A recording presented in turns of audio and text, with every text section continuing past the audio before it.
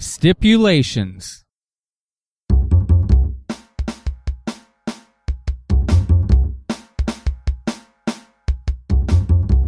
When you woke up this morning, did you purposely say, I'm going to confine myself to a box? Or do you just avoid putting any conscious thought into today? When you're busy going at it, literally or figuratively, do you ever find yourself pausing for a moment to realize what's going on? Or are you just reacting? When you hear the saying, May I have your attention, please, do you continue as you were, or do you consider the information you're about to receive might actually be valuable? When I was growing up, my mother used to ask me to do things, and sometimes her reasoning was, Because I said so. Looking back, I wish perhaps I took the time to pause, think, and consider the ramifications of my choices.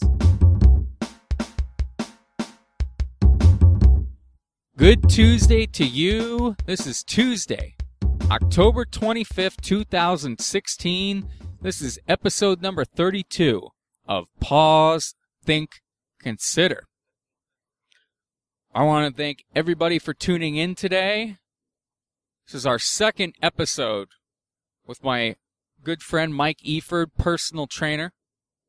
If you didn't catch our previous episode, which was on 25 pounds of excuses. I'll link to it on the the website. Highly recommend it.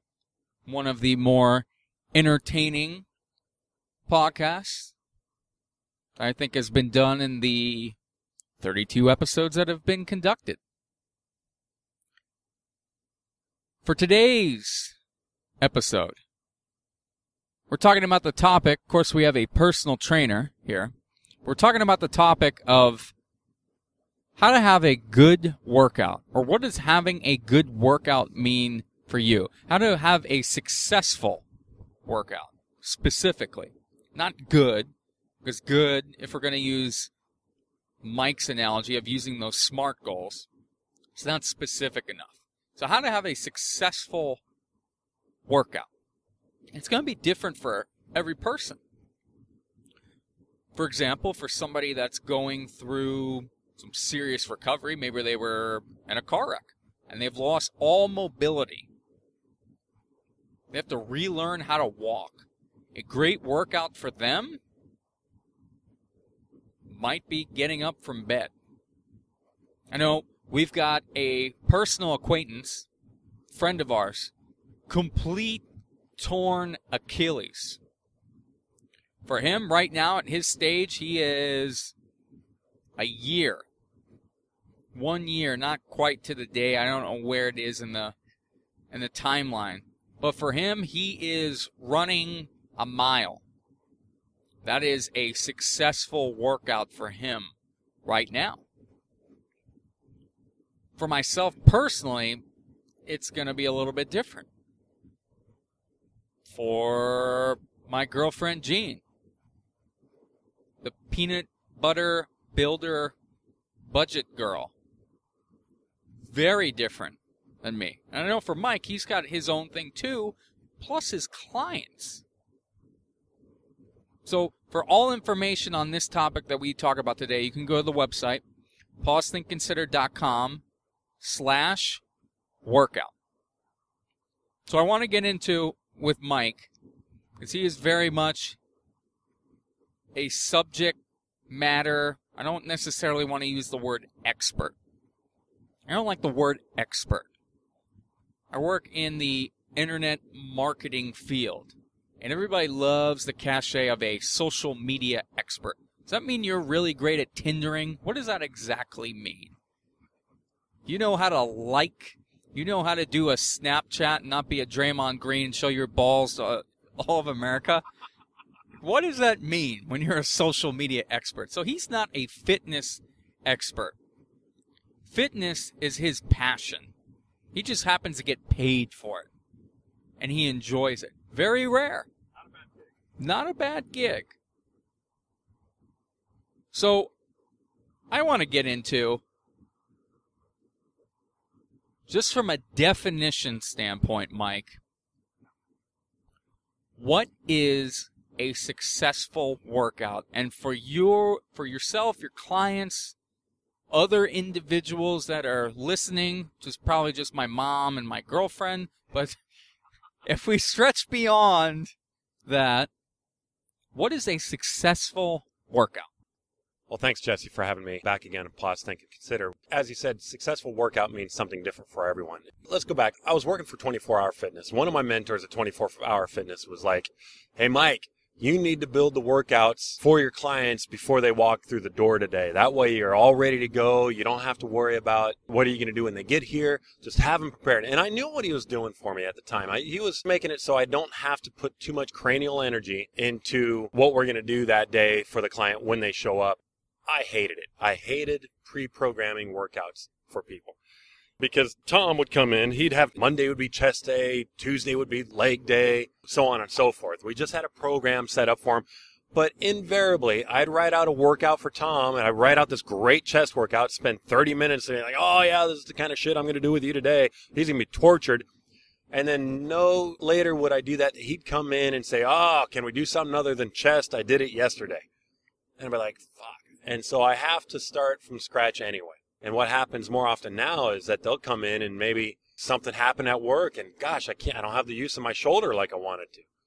And so that's when I got into injury recovery without going outside of the scope of my practice. But we talk about what the body's doing under injury, what we need to do to build the strength back up to help recuperate. That's a sidebar. But I hated, hated building workouts prior to my clients showing up for that reason. They'd always want to do something ass backwards from what I decided I wanted for them that day. So I've built it into my practice now. When my clients come in and talk to me, I spend the first five minutes, I'll put them on the row machine, put them on the Airdyne bike, what we call the assault bike at the CrossFit gym, 346 grit. If anybody in the local area want to come down and say hello, I'll put them on there. I'll just have them go for five minutes. They think they're warming up. I care less if they warm up in that manner or not. That's not really what their warm up is for me. But I put them on there because I want them to tell me everything that's going on in their lifestyle in the last seven days or whenever I saw them last. Maybe I see a person once a week. Sometimes I see people twice a week, ideally three to five times a week, but I want to find out what's going on with them. And as they're rowing or as they're on their bike, I can see them wince when they move their shoulder. I can see them go through a range of motion. That's why I love the row machine so much because it covers a wide range of motion and I could look at them and I could see what's wrong. And if they don't bring it up, I'll bring it up. I'm like, hey, your right knee's buckling today on the row machine. What's going on? Oh yeah, I tripped and I kind of twisted a little bit and now it's feeling funny. And so, hey, that great leg workout that I may have planned, that's out the window. Because I might change it to a different leg workout that's more reasonable for what they're going through, or I might just go with an upper body workout that day the end of the day, a great workout takes you from point A to point B and achieves a result, a desired result. If you listen to the last podcast, I mentioned a lot about treat your body like a science experiment because that's what it is. We're biochemically changing the motor pathways in your bodies when we work out. We're getting them to learn and adapt new muscle memory. We're getting them to break down tissue and rebuild structurally we're going to work out and we've got a plan for working out. We have to have a plan. I'm not saying don't have an overall plan. You need to have a goal, but a daily workout plan might change based on your need that day. And I learned this from great, great powerlifting coach, Westside Barbell Club over in Ohio. His name is Louie Simmons. And he'll have his main lift of the day but he doesn't know what any of his accessory work is going to be until he goes through his motor skill work, his warm ups, his movement preparation, and then he kind of finds through that what he needs to work on. Where's his weakness at that day? And then he works on that weakness. And that guy, he puts out power lifters. Uh, one guy just broke the deadlifting record in the United States, over a thousand pounds, maybe like around around 1,100 pounds at the Arnold Classic. So he knows what he's talking about. I always find ways of getting people that have the information that know more than me to learn from them, constantly building up my repertoire. And then I'm going to my client and learning by seeing them go through movement. But a successful workout for me is getting you from point A to point B and achieving the result that you desired. So one of my main questions then to jump off of that Mike, it's something that I can go all the way back to high school. I was a track, I guess we'll call myself athlete. But I ran track. I did cross country. I tried to do the basketball thing, but when you're four feet tall, about 85 pounds, and the only thing you can do is take a charge or set a screen, your likelihood of being successful at basketball is very slim. Has its limitations. But I spent a lot of time in the gym trying to lift really heavy weights, like you talked about before. I found it a huge accomplishment of being able to. I don't think it was in high school. I think my freshman year of college, I was able to bench my own weight, which felt like a pretty good accomplishment. But I found the older that I've gotten, I know for athletes, they have so many specialties, and I hear all the time, I'll watch these videos on YouTube. LeBron doing his workout, or some professional, right? That's their job, is their body. And I know the CrossFit world is very much of a get in, get out. So I'd like to hear you talk about because I very much have the mindset of I'm focused, I have specific goals, specific things I'm trying to do. And the thing that I think has driven me to want to do my workout at home rather than to go to the gym is because I want to be just like with everything that I do, everything that I do in life. I want to be as efficient as humanly possible to get in and get out and get on and do more things that I want to do. Not that I don't enjoy my workout, but I don't want to be in the gym for three freaking hours a day. And Jean is very different than me. She will be in the gym and she has cut it down. I remember when we first started dating, I couldn't see her on Saturday or I couldn't see her on Sunday. I'd say, why? Well, I'm working out. I'm like, what? What, what, what do you mean? Like, you're well, I got this and I got that and I got that and I got to do this and I got, it's like, do you really need to do the forearm raises for 45 minutes or whatever the hell you're doing? Like, I don't understand it, but there's also a purpose for it. And she has certain specific goals, a certain specific look. I know bodybuilders can spend hours, almost a whole day in the gym, but for me, that's why I identify with not necessarily CrossFit, because for me, the Olympic lifting scares the bejesus out of me. The trying to lift as much, it gets back into the high school days of trying to lift as much as I humanly possibly can. No, I like the HIT workouts, the high intensity interval training.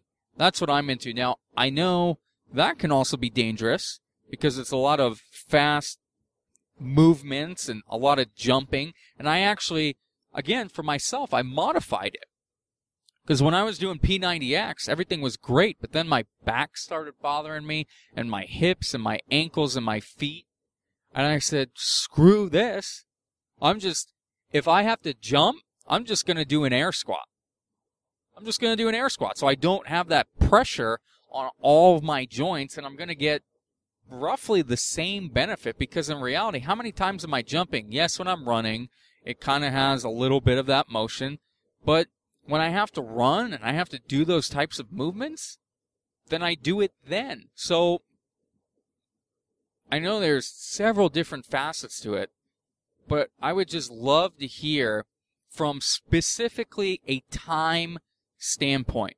Maybe you can break it up, certain individuals, certain cases, it would also be great from a general person standpoint. Anybody who's listening to this, I I don't think we necessarily have professional athletes or people that are in the gym all day, every day, listening to pause, think, consider while they're working out. But how is success quantified when it comes to time for working out? Well, it all comes down to biology. Your body can only endure so much before it undergoes a physical change. There's going to be a plateau. There's going to be a breaking point where you've done enough of that. You're not doing any more good. Is it quantifiable? Yeah, in some standards it is. But you know, like I was talking about Louie Simmons, he says if you're in and out in an hour, you've almost gone a minute too long. You really shouldn't take more than an hour in a generalized workout from start to finish. We're talking about warm up time included. CrossFit gyms. They have a great program. They set up the warm up. They have what they do, the probably Olympic lifting or a weightlifting portion of some kind during the day. And then they have their WOD, which stands for workout of the day, that could last anywhere between five and 30 minutes, sometimes up to an hour. For them, they have some WODs that just take a long time, like some of our hero WODs that just, Murph is a great example. We name our workouts in CrossFit. Murph is a hero WOD. They made a movie. We'll link to that movie. So anyway, it's basically, if it takes you less than 45 minutes, you are a fire breather. You can absolutely annihilate your shit if you're able to get Murph done in, in less than 45 minutes. Most people take an hour, hour and 20, and it's traditionally done on Memorial Day, dedicated to our veterans. Listen, Greg Glassman, founder of CrossFit, says you should live in your couplets and triplets, which means two to three exercises that are supersetted, running about five to 10 minutes. Go long distance every once in a while. You shouldn't have these marathon workouts because then all you're doing is breaking down, breaking down, breaking down, and your body relies on the rest more than it relies on the work that you put in that day. So I've had a great workout where all I've gone in and done is one thing. I've gone in and I've done a chest press, for example, or a bench press, and I just worked on my bench press that day, worked on it for about 20 minutes, kicked my own ass, and I was done for the day. I didn't need to do anything else. I got my secondary muscle structure in there with the shoulders and the triceps, but my job was to blow out my chest. Not to mention, I didn't have more than 30 minutes to work out that day anyway. So I know when I go in, I'm going to go in, I'm going to hit a main exercise. If I'm doing a bodybuilding style of workout, I'm going to hit a main exercise, whether it be the bench press, the squat, the deadlift, or the overhead press. And then I will have two to four accessory exercises after that, depending on my biggest area of weakness. And if you last more than an hour in a gym, you start to think about maybe I'm doing too much. The only time that people really benefit from spending more time in the gym are, I would argue to say that would be the body, the competition bodybuilders at the highest elite level where they're doing two a day, sometimes three a day workouts when they have to hit legs and chest on the same day. And so they break it up in between their protein shakes and mega mass builder blocks and things of that nature. So for us, for we, the people, the general population, if you're in there for more than an hour, probably too long. So let's talk about we're done with the workout. Maybe we even need to go back to the pre workout also.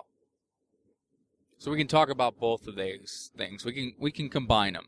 So prior to working out, for some people, they're just going to get out of their car and they're going to jump right into it. I know for myself personally, that's very often how it typically be. And because of how I my dietary lifestyle, I very often will not eat beforehand or I'm running which is probably why I try not to go very long with my workouts is if I can, ideally, if I can, ideally, I will do my personal workout. I will try and end it right around the same time that correlates with eating. So I'm actually eating afterwards to try and help with the recovery of it. More than likely, because I only eat once every five to six hours, uh, I'm not eating beforehand. So either I try, I try and do it typically in the morning, first thing when I wake up, which is basically coming off of a fast because I haven't eaten anything in 12 hours. I know it's hard for people to think about conceptually that I'm fasting, but that's what you're doing. When you're sleeping, you're actually fasting. And so that's not normal. I know most people don't do that. So, first part, what is a good pre-game, pre-workout? And then the second part to that, Mike, I'll never forget, he has an Olympic medal. His name is Galen Rupp. I had the opportunity in high school to actually run against him in cross country. And everybody knew at that time he was going to be amazing. I believe we're very close in age. So we're either the same age or maybe he's a year older. I was a freshman, sophomore, we were the same age. And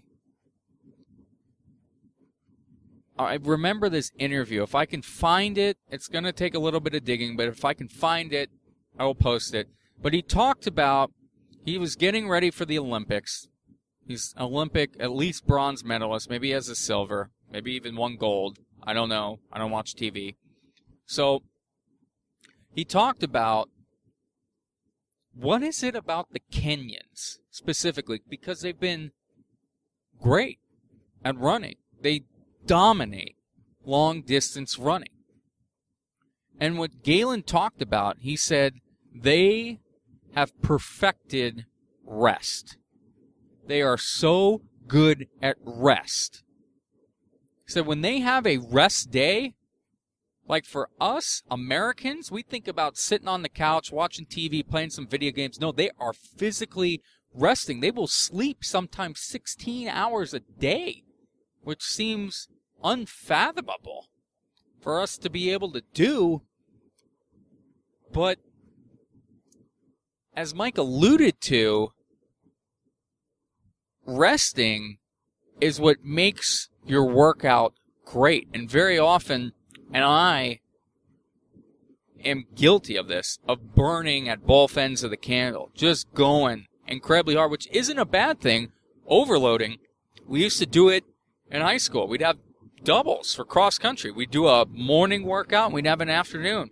And we would only do it for two weeks. But it was high intensity to get us ready for the workload and in theory, you should have been prepared for that. You were preparing for those daily doubles to put yourself through it, and it was going to help catapult you. At least that was the theory. I don't know if there's any science behind it. There's probably more. We're trying to drill into you the mental strength to be able to go through this cross country season. I think it was more of that because football does it all the time. Football has training camps and they do doubles all the time but it is the rest and recovery that is a huge proponent. So I know it's two separate things, Mike, but I'd love to hear your thoughts first on pre-game, pre-workout preparation, and then post-workout in relation to how can we make the actual work that we're doing, how can we make that successful? Well, I'll make it easier than that. It's not pre-game, post-game. It is changing lifestyle. And I just would rather talk about that because one of the fundamental problems that we can fall into, especially those that look out for trainers, I kind of mentioned to you about this over dinner was people just want to come to me and say, "Hey, can you just build me a workout?" I can't afford you, but can you just build me a workout? Can you just do something for me and just write something down on paper? Well, fuck yeah, I can write anything on paper. Doesn't mean it's going to work for you. I mean, you could go online and find a thousand different workouts that'll work for you, and they're just a click away. You could download 42 different apps on your phone, each one of them having a different workout body weight workout, workout with weight, Wendler 531, the strong 5x5. You can do anything. Louie Simmons has his conjugate system. You can do anything you want. I've tried several of these workout plans, and in fact, Louie says, don't reinvent the wheel when it comes to working out. Louie's system came from the Bulgarians. Bulgarians stole them from the Russians. The Russians stole them from the Mongolians. Like this workout that Louie Simmons puts people through, it's the same workout that they've been doing for hundreds of years. He hasn't done anything new, except he's perfected the rest. He goes one day on, one day off, one day on, two days off. CrossFit tapped into that a little bit, where they go three days on at the elite level, three days on, one day off, then two days on and one day off. So they manipulate their rest the same way. And their rest, gosh, have your meals already pre planned because their rest should be rest. It shouldn't be movement very far away from what your overall lifestyle. But how do we perfect the pre and the post? We have to make it a lifestyle change. We have to make it a decision. that this is who I am going to be to reach my goals. We're not in the gym and we're not going to come out and work out one day a week and expect any changes to occur. Now, I do have those clients that see me one day a week. And I tell them, if you're going to see me one day in the week, I expect your butt to be in the gym over at Crunch or over at LA Fitness or 24 two other days this week. Because what I do with you on this one day isn't going to catapult you into success. We might work on some functional movement, we might do some stuff, but it's not really going to make you successful. I actually had one of my favorite clients, one of my most inspirational clients. He's 86 years old. I've trained three generations of this guy's family. I got to know his granddaughters over at LA Fitness when I worked there. And his granddaughter is a bodybuilder. She goes around and does amateur shows. And she is a nutritionist. She's a hell of a nutritionist. And she's actually something I forgot to bring up last podcast, but she's the one that taught me that we don't eat enough food as humans. When, especially when we're trying to lose weight, we generally we cut too much calorie out of our system, and then our body struggles to keep up, and then deposits fat. That's yesterday's podcast. I digress. But I got to know her. She set me up to train her parents. So I trained her parents, and then on the side, I would train her and then she would show me some stuff that she learned through bodybuilding. So we'd kind of work out together. Her mom called Lou, which is her mom's dad. And Lou, he's this 86 year old vet that played football and wrestled for Oregon State. He's broken every goddamn bone in his body. And he still wants to know what he can do to move better. What can I do? I can't lift my arms up over my shoulders. I'm having problems standing up now when I walk. I've got this drop foot syndrome. A whole list of things. I mean, he's by far one of my most challenging cases, and it makes it even more challenging.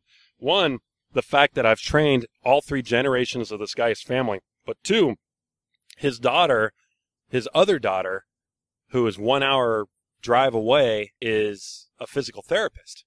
So she sees the work that I've done with her sister and getting her to squat properly. And it took me two years to break that woman, but finally got her. And I've got this professional, like, I'm a professional in strength and fitness. And I work through injury recovery through my strength and fitness.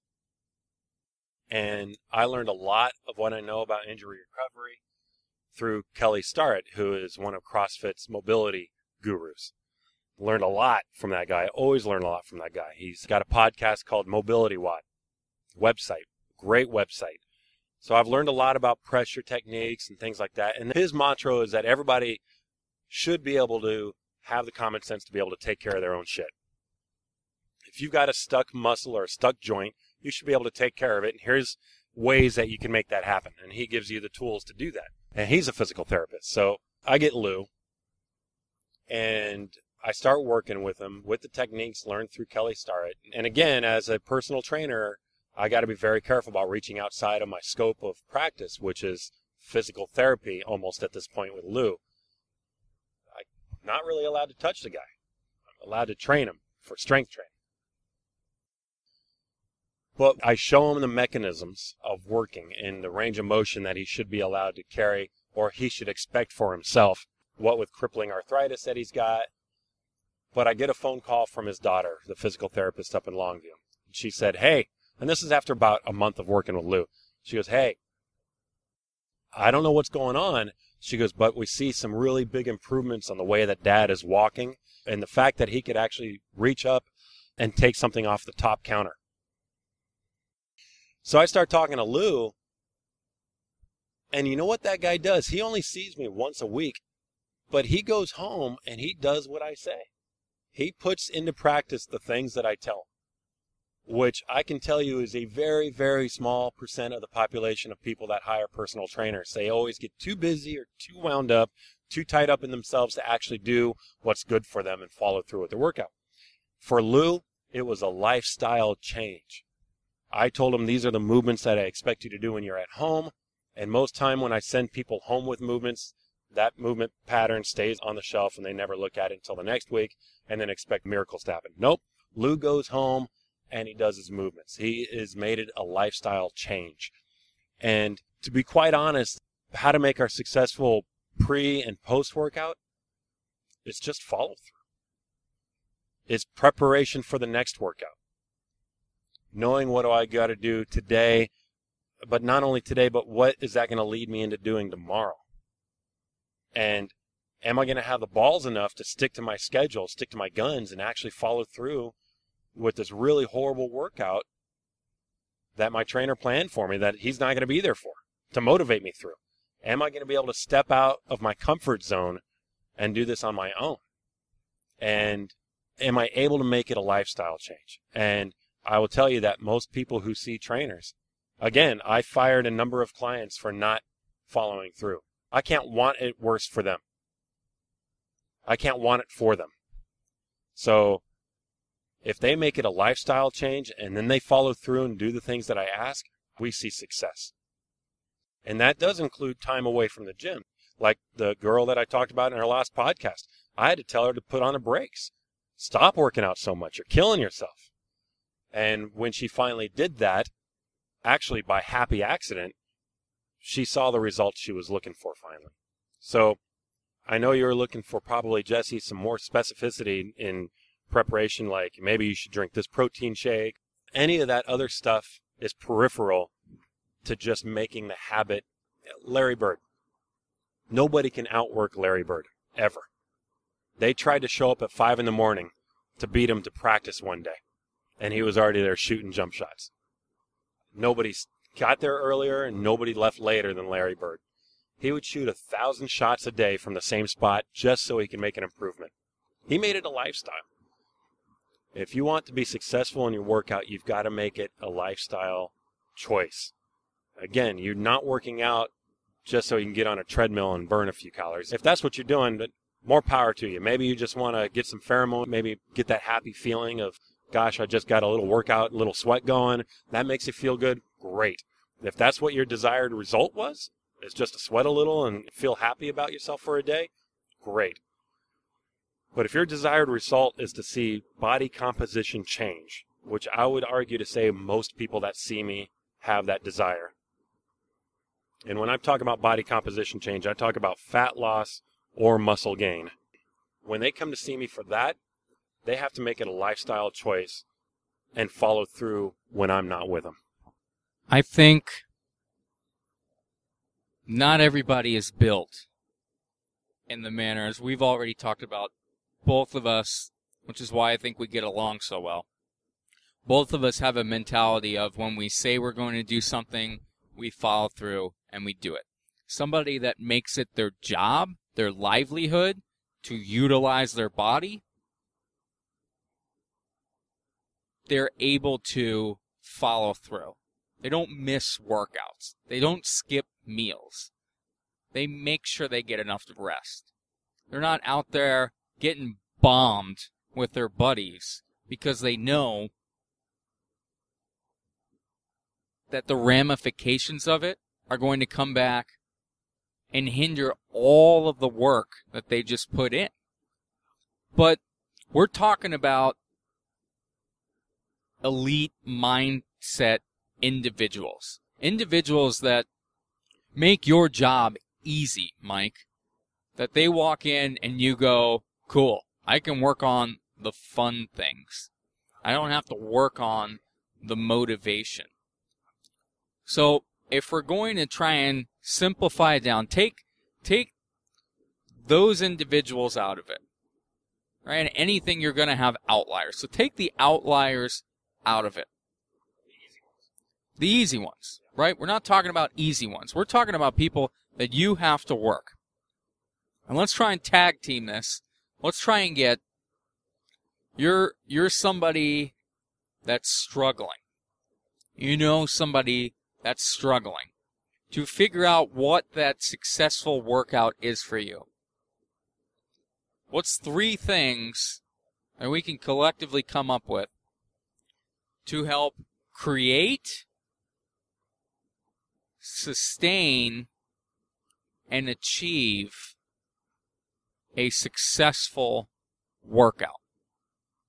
That's a good question. The mindset is everything. And when I'm dealing with somebody whose mindset is, God, had a crappy day, had a crappy week, I got no energy, I don't even know why I'm here today. Then my mindset is okay, we just got to get you through the day. We got to make you do something that you didn't realize you had the strength or energy to do.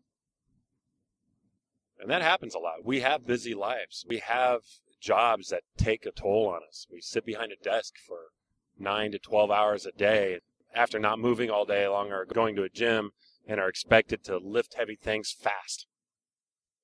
I do teach Olympic lifts. I know they scare the hell out of you for good reason. People do them badly, they get hurt. We saw a guy in the Olympics this year that just demolished his right arm doing a snatch. And this guy is a professional, uh, way better at it than I am. And he suffered a severe career ending injury from doing it. So, what do I do? What's one thing I do is I find what their motivation needs to be that day. And if it's getting you through a workout after a long, hard week, it is basically let's give them a challenge that they don't even know is a challenge until they get through it. And then they can turn around and say, oh, look at the shit I just got done doing. To key off of that, for number two, I'm going to go with, and I think this can really apply. This is great from a workout sense. Number one, that you talked about, Mike, about having that mindset. I think you can apply that to anything. And that's where I'm going to try and piggyback that. And I'm going to say that to be successful at your workout, to have a successful workout, to have a successful workout plan, you need to engage in ongoing, regularly occurring education. Whether that's getting it from somebody else like Mike or doing it through self exploration. I know when Mike and I have conversations off air together, it's fun because we're able to speak a lot of the same language. But I didn't go through the same training that Mike did. He went through something much more formal than I did. And it's the same thing when I go and I talk to my chiropractor. I try, not necessarily in the sense, and I've used this before about being a chameleon, but any arena of life that you go into, I think this is not to get political, but I think a lot of the issues we have is we're just not able to communicate on the same language. We're not on the same sheet of music. We have immigrants that come in, we're not able to communicate with them. When we go to other countries, we're seen as pompous ass Americans because we're not able to communicate with them on their level. And so, for me to get the most out of my relationship with a personal trainer, and it's second nature to me just because I try and do that in any walk of life, whether it's with music, whether it's with business, whether it's with cooking or fitness. I want to be able to talk the talk. I might not know how to apply the walk, but that's why I have somebody that's a professional that knows what the hell they're doing and they're able to provide that. But we have zero excuses anymore for not being able to get the knowledge. Zero. Before I even, and his name is, to get it right, Kelly Starrett. I discovered Kelly Starrett on freaking YouTube. It wasn't from Mike. For Mike, he's, whether Kelly knows it or not, huge influence on Mike's life. And I discovered Kelly and learned about what he does based on YouTube, based on Googling just having that human nature of I want to learn more. And so I would say as a second step, yes, the mindset, absolutely. You have to have the mindset. But number two, you have to have this hunger to get knowledge. If you want to lose weight, great, leverage Mike. Leverage him. But then not only do you need to do what he tells you when you are off the air, when you're not in a session with him, But if you're really truly serious about seeing the results, you got to be able to throw more challenges to him. I can imagine the look on his face when I'm rowing and I go, gosh, my TFL is really tight right now. I've got my interior rotator on my hip. It's just, it's pulling in this manner, Mike. I really don't feel like I'm, I'm, I'm able to get the range of motion that I need in my left hip. I, I went on this car ride and I sat really funny and I'm just locked up. It feels like I'm pinching in my hip there. I don't have the range of motion I'm looking for. He's going to go, holy shit. I know exactly. I can pinpoint that. I know what to do. And we've done it before. I've gone, gosh, Mike, I'm trying to do a freaking squat the way that you show me to, but my toes are rolling out. I feel my, my hips are locked up. I'm not able to get it. It feels almost like my groin's too tight.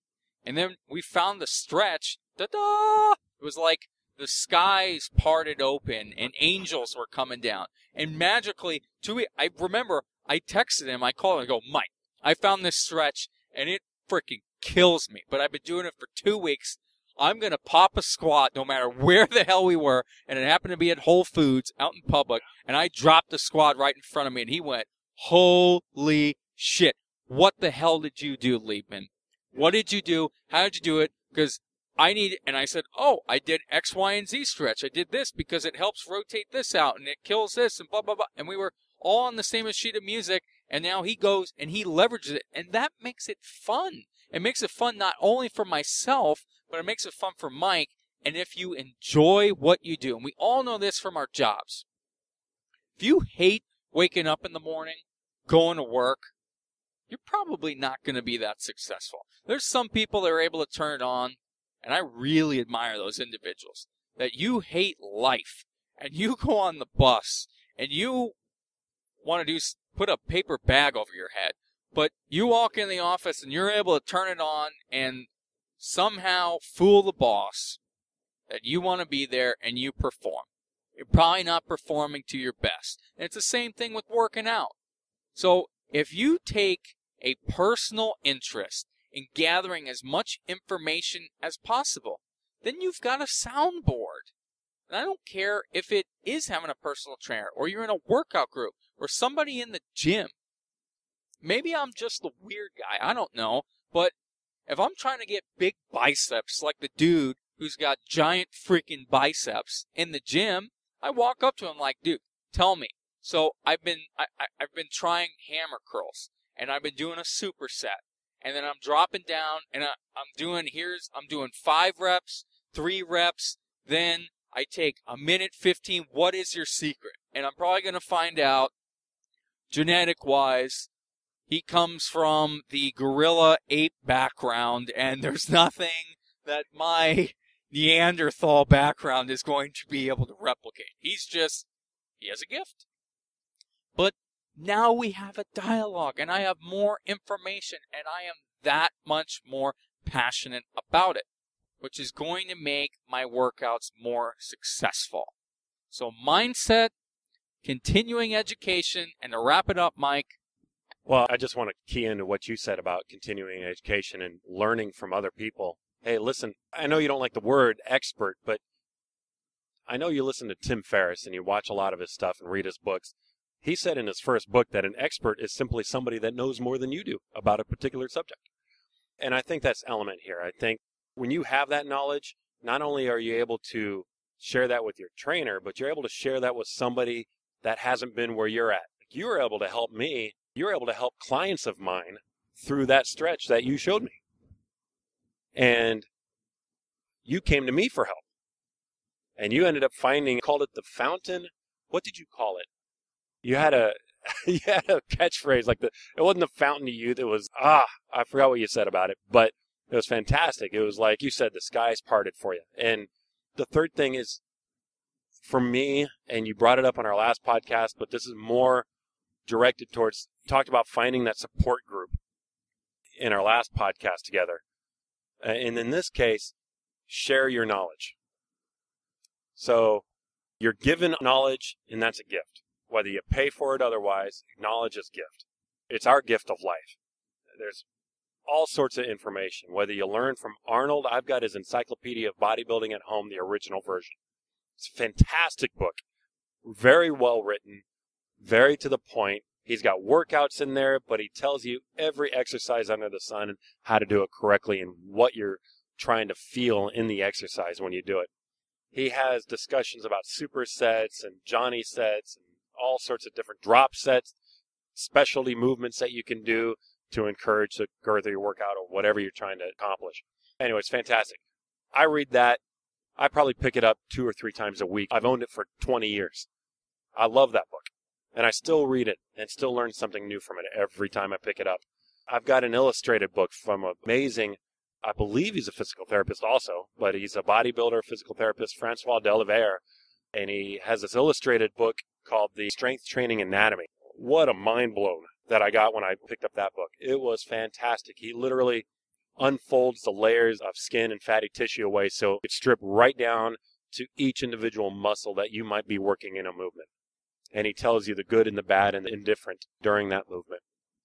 And it's fantastic just to be able to see what you're able to do. And I hosted a class at 346 Grit CrossFit every Saturday for six weeks where it was based off of his concept, Francois Delavier's concept of strength training anatomy. Hey, let's not just come in and move. Let's come in and move and know why we're moving. Uh, that's the whole reason behind CrossFit's functional movement system is that we got to know why we're doing what we're doing. So that way, when you get that knowledge, when you start getting that deep understanding of the systems like Jesse was talking about a moment ago, and you can pass that knowledge on to somebody that needs the help that you needed before you learn that knowledge. Then it comes full circle. And it's kind of a pay it forward system in fitness. Yeah, I, to bounce off of that right before we wrap things up, Mike. I've always had the personal belief, and I've heard it from a lot of people in our personal circle together that we share, that those that have the ability to teach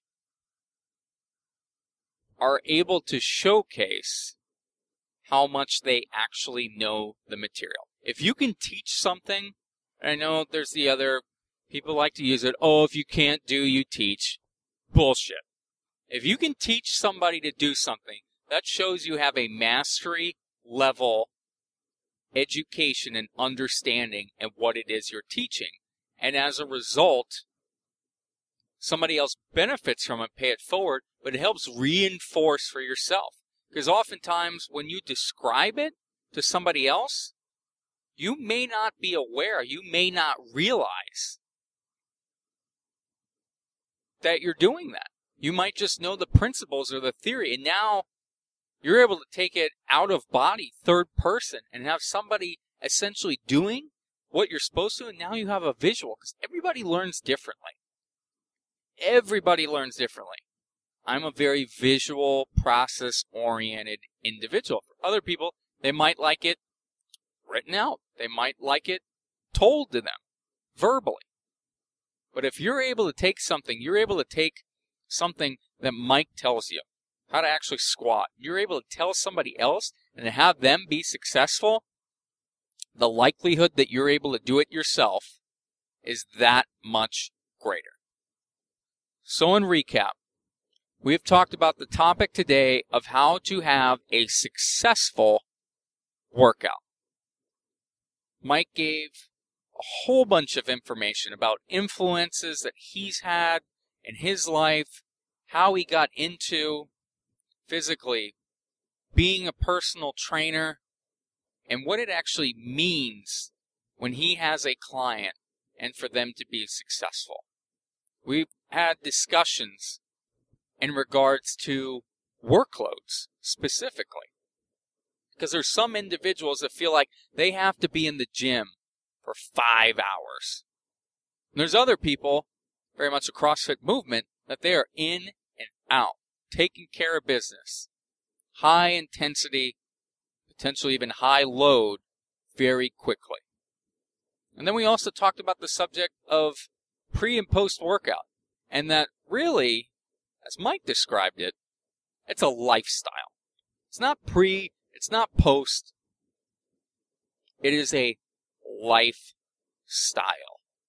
It is creating that lifestyle that allows you to be successful at your workouts. Yes, do you need to consume food?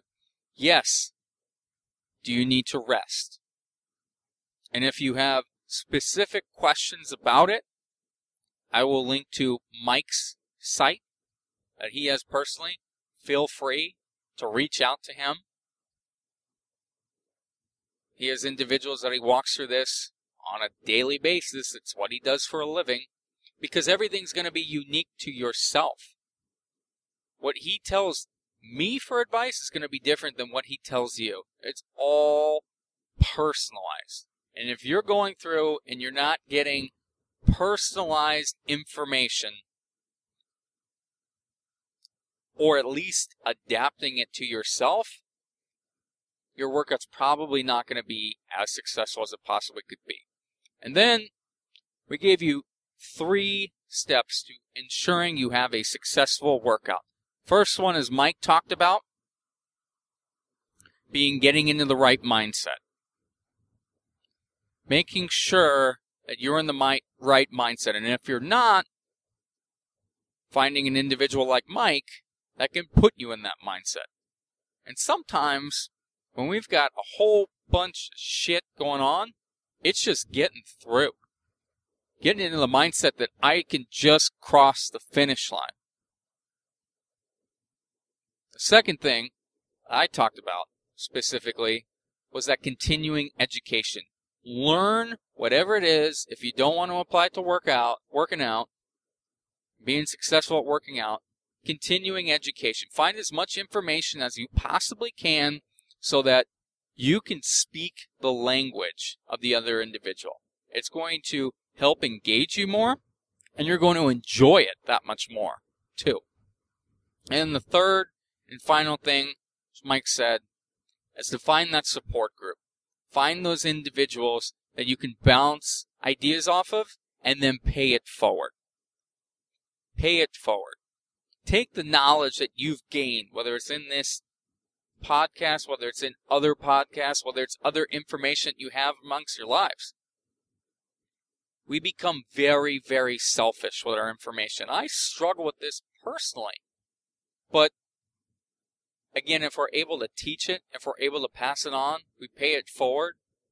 It's not a competition.